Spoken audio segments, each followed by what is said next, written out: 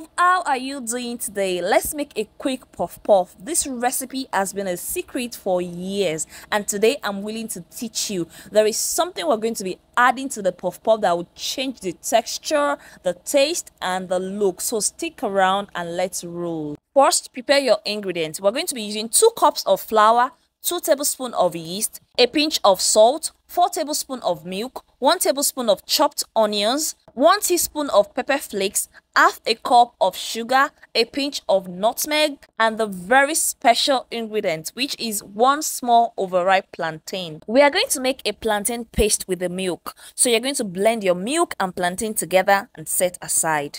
Then you're going to sieve your flour to remove any lumps once you're done start adding all your dry ingredients together add your yeast sugar salt nutmeg and mix now it's time to combine our wet ingredients. You're going to dilute your plantain paste with a little bit of water so that we can have a full cup in measurement. Then you add your onions, pepper flakes and mix very well. Now combine your dry and wet ingredients using a spatula, but it is best to use your hand, which I later did. So you're going to mix well and draw, just like when you are making semo. You can see the way I'm doing it. Once it's well mixed, Scrap the edges and cover for about 40 minutes and watch the magic unfold.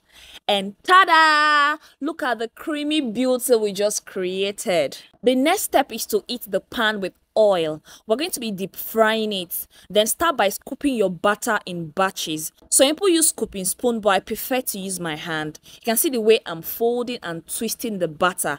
Yeah, that's how you're going to be doing it. Drop it into the hot oil in batches and in your preferred sizes and let it fry.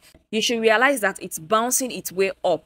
Yeah, that's the yeast at work. So you're going to consistently turn it and once you've gotten a golden color, you should know it's ready. Some prefer a light brown while some want it deep brown, crunchy on the outside and soft on the inside.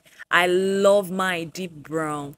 Oh my, my light just went off. Okay, it's back now. And this for me is good to go. Look at that. Thick, sweet, creamy, spicy, crunchy, and soft puff puff.